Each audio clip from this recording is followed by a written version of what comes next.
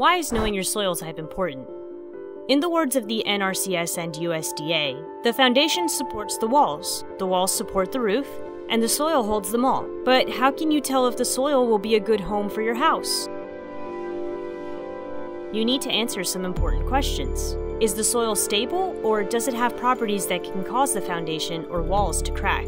Is the soil in an area subject to flooding? Will storm runoff drain safely away from the house and lot, or will it turn your yard or basement into a pond? Does the soil have a high seasonal water table that can cause a basement to flood or a septic system to fail? Not every foundation repair system works in every environment.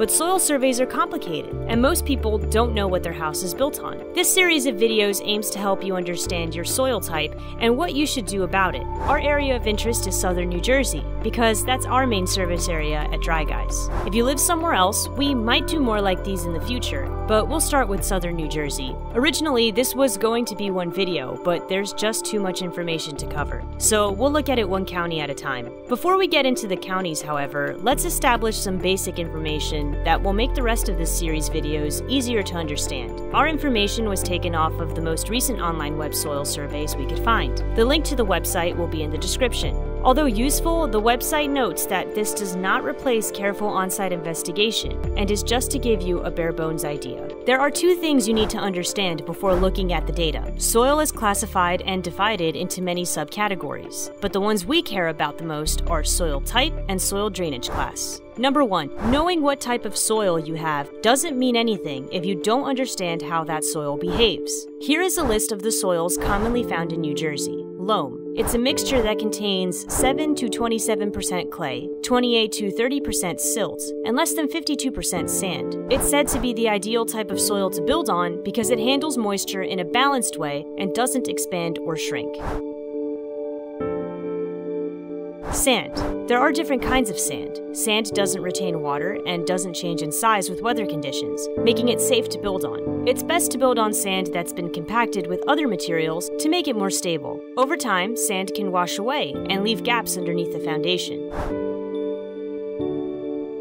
Clay is an expansive soil, meaning it expands when wet and it shrinks when dry. Because it changes size so much, it's not good for foundations because it puts a lot of pressure on them.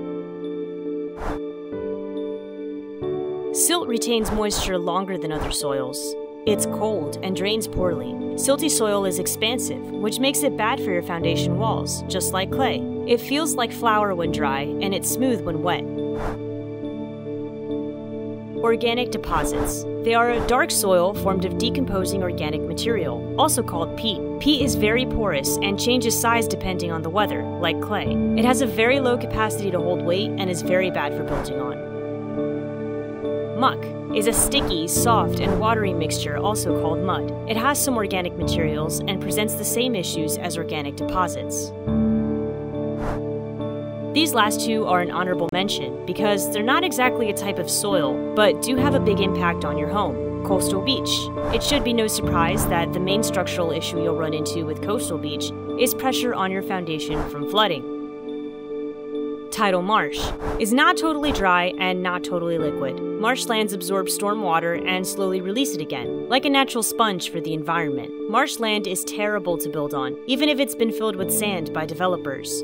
You'll always have water and settling issues, and water displaced by construction will either seep back into your basement or flood the houses downstream of you. The basic thing to remember is that loam and sand aren't normally going to give you issues. Everything else is either expansive soil or prone to flooding. Number two, the second thing you need to know is the different kinds of soil drainage. A soil's natural drainage refers to how often the soil is wet and how much water it holds. This affects the amount of water pressure on your foundation walls. Note, you will see the term mottling a lot in this list. Mottled soil is irregularly marked with spots that differ in color and size. Mottling usually indicates lack of drainage and poor aeration.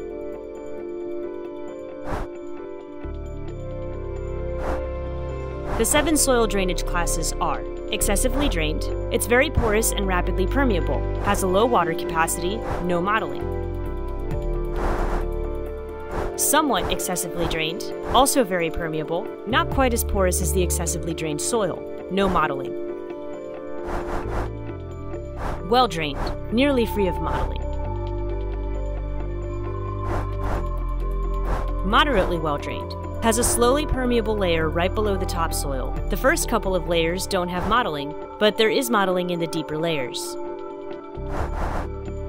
Somewhat poorly drained, is wet for significant periods but not all the time. Some types have mottled soil 6 to 16 inches below the surface. Poorly drained, wet for long periods of time, is light gray and may be mottled from the top down, not always.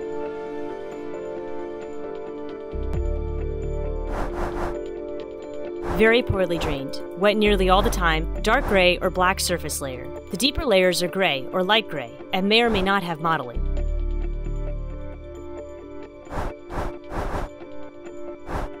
Use this video as a reference point for the rest of this series, because you'll be hearing these terms often. When you put all of the info you've learned with the data you'll see, you should be able to have a good picture of what kind of soil your house is built on. But remember, this is only a rough estimate. The soil survey itself states that on site investigation should still be done, especially before starting any construction or structural work. The soil type tells you whether or not that soil is going to expand or move, making your house unstable. The soil drainage class tells you how much water pressure your basement walls are being subjected to year after year. The definitions and lists provided are very clear cut, but the reality is that your soil may be a mixture of some of these classifications. As you'll see in the data, sometimes sand has clay in it, or sometimes the first layer of soil drains well, but the one right below it doesn't. Soil is very random and can change suddenly. Your altitude also determines how your soil is going to behave. You should be aware of these differences and familiarize yourself with your land. These two lists will be in the description for you to read, as well as this video's timestamps in case you need to revisit a section. We hope this helps. Now let's begin.